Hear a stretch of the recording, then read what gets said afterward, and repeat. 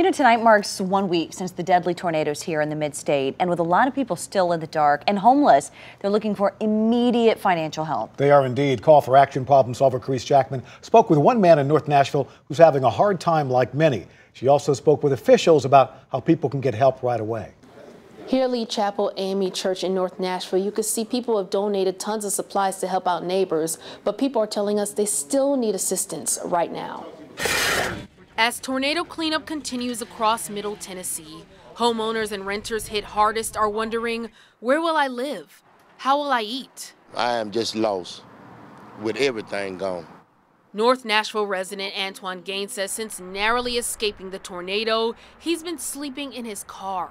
Look, I don't have no gas money. I don't have anything.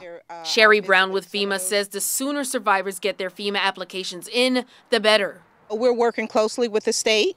Uh, the state have uh, resources. Uh, TEMA have uh, disaster assistance centers where their multi-agencies are there providing support for FEMA assistance, rental assistance. For immediate needs, there are organizations like Equity Alliance. We've set up a fund on our website if you want to donate. Um, and we're providing financial assistance around if someone needs um, assistance with their utility bills, rent.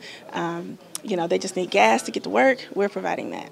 The United Way of Greater Nashville is also providing assistance. You can dial 211 if you need a place to lay your head or some food.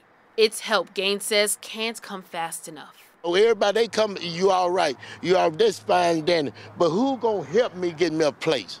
In Nashville, I'm Call for Action problem solver Caresse Jackman.